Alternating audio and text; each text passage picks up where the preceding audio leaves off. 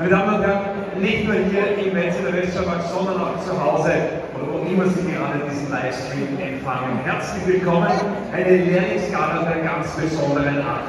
Wir sind hier live im Niederwestschaumarkt in Wetzel, vielleicht kann man das einmal hören. Wir haben hier ganz viele Gäste rund um die Bühne.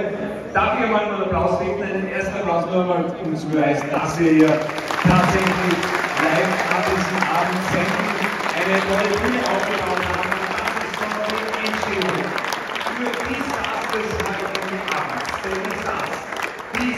Kürze, die sind in wenigen Augenblicken hier. Das sind die Jungen, das sind die, die wir heute auszeichnen werden. Meine Damen und Herren, alle Augen richten sich in Richtung der Rolltreppe. Hier kommen sie, die Stars des heutigen Abends.